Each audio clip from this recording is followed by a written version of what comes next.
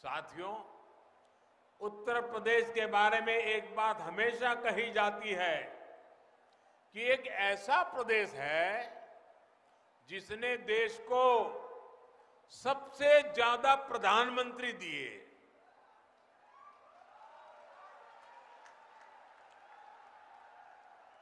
ये यूपी की खूबी है, लेकिन यूपी की पहचान इस पहचान को लेकर केवल इस दायरे में ही नहीं देखा जा सकता।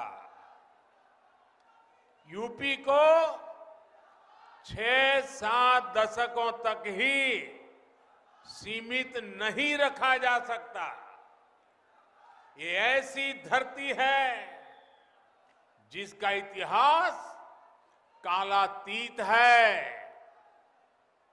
जिसका योगदान कालातीत है। इस भूमि पर मर्यादा पुरुषोत्तम भगवान राम ने अवतार लिया। भगवान श्री कृष्ण ने अवतार लिया। जैन धर्म के 24 में 18 तीर्थंकर उत्तर प्रदेश में ही अवतरित हुए थे। आप मध्यकाल को देखें तो तुलसीदास और कबीरदास जैसे युग नायकों ने भी इसी मिट्टी में जन्म लिया था। संत रविदास जैसे समाज सुधारक को जन्म देने का सौभाग्य भी इसी प्रदेश की मिट्टी को मिला है। आप जिस किसी भी क्षेत्र में जाएँगे, उत्तर प्रदेश के योगदान के बिना उसका अतीत, वर्तमान और भविष्य अधूरा ही दिखेगा। उत्तर प्रदेश एक ऐसा प्रदेश है जहाँ पग पग पर तीर्थ है और कण कण में ऊर्जा है। वेदों और पुराणों को कलमबद्ध करने का काम यहाँ के नैमिषारण्य में हुआ था। अवध क्षेत्र में ही यहाँ अयोध्या जैसा तीर्थ है। पूर्वांचल में शिव भक्तों की पवित्र काशी है। बाबा गोरखनाथ की तपोभूमि गोरखपुर है। महर्षि भृगु की स्थली बलिया है। बुंदेलखंड में चित्रकूट जैसी अनंत महिमा वाला तीर्थ है। और तो और, तीर्थराज प्रयाग भी हमारे यूपी में ही है। ये सिलसिला यहाँ नहीं रुकता है। आप काशी आएँगे तो आपकी यात्रा सारनाथ के बिना पूरी नहीं होगी, जहाँ भगवान बुद्ध ने अपना पहला उपदेश दिया था। किसी नगर में तो हम अभी उपस्थित ही है। पूरी दुनिया से बौद्ध श्रद्धालु यहाँ आते हैं। आज तो पहली इंटरनेशनल फ़्लाइट से लोग यहाँ पहुँचे भी हैं।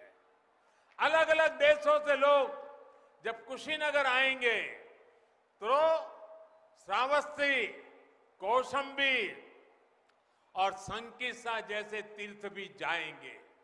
इसका श्रेय भी उपी को हिस्से आता है।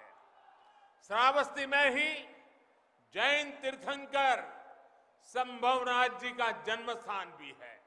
इसी तरह अयोध्या में भगवान ऋषभदेव और काशी में तीर्थंकर पार्श्वनाथ और सुपार्श्वनाथ जी इनकी भी जन्मस्थली है। यानी यहाँ एक एक स्थान की इतनी महिमा है कि कई कई अवतार एक स्थान पर हुए हैं।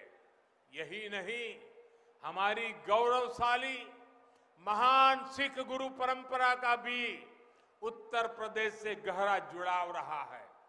आगरा में गुरु का ताल, गुरुद्वारा आज भी गुरु तेग बहादुर जी की महिमा का, उनके शौर्य का गवाह है।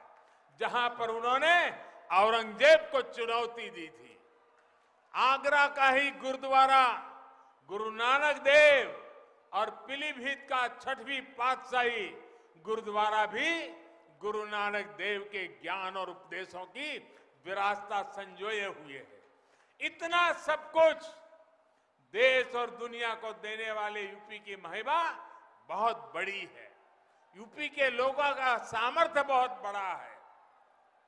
इस सामर्थ्य के हिसाब से ही यूपी को पहचान मिले, उसे अपनी इस विरासत को आगे बढ़ाने के लिए अवसर मिले, इस दिशा में हम काम कर रहे हैं।